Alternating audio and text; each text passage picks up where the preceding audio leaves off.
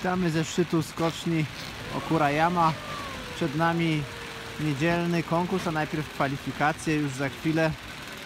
Pogoda naprawdę dobra, wbrew temu co mówiły prognozy, jest na razie niezbyt wiecznie. W tej chwili nie pada nawet śnieg.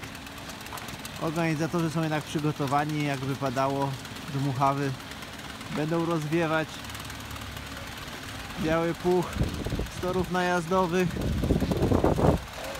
Wygląda więc na to, nie chcemy zapeszać, ale powinniśmy zobaczyć dzisiaj przynajmniej jedną serię konkursową.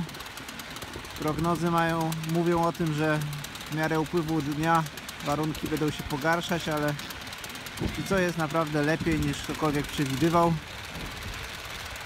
I czekamy na pierwsze skoki dzisiaj.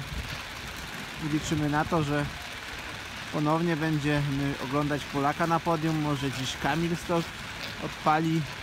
Wczoraj ewidentnie nie szły mu te skoki.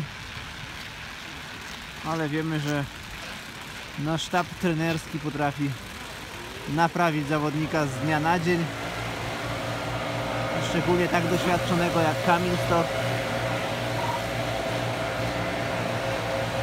Czekamy zatem na pierwsze skoki i